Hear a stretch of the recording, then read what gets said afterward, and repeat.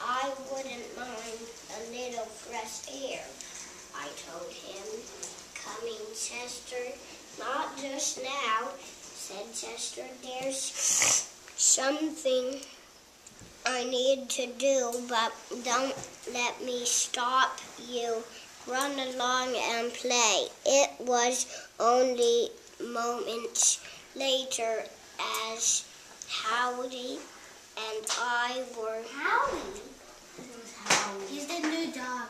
yeah, tussling over an old rag in the backyard that Chester wore boards hit me.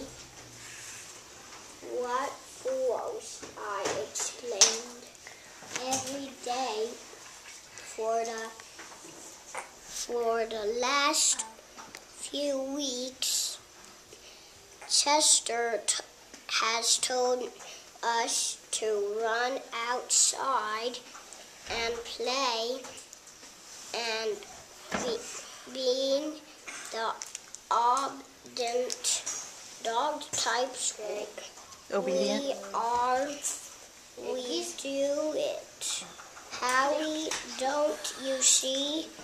Howie looked sur- surprised by my question.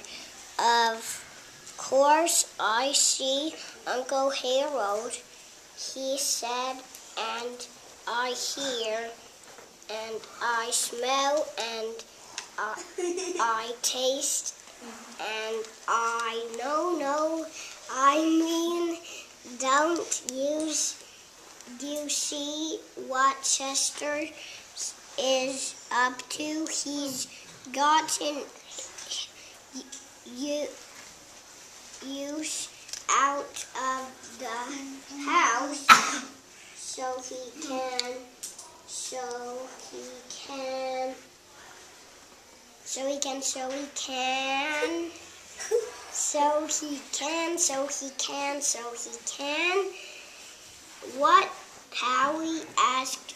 I looked at him blankly. I don't know, I said, but there's one way to find out.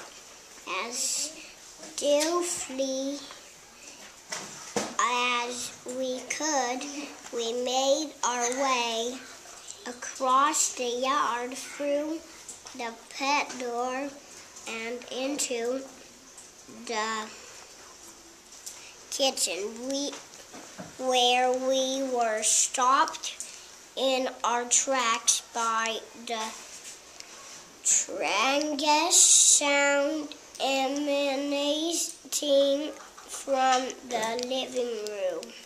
Slurp, slurp, slurp.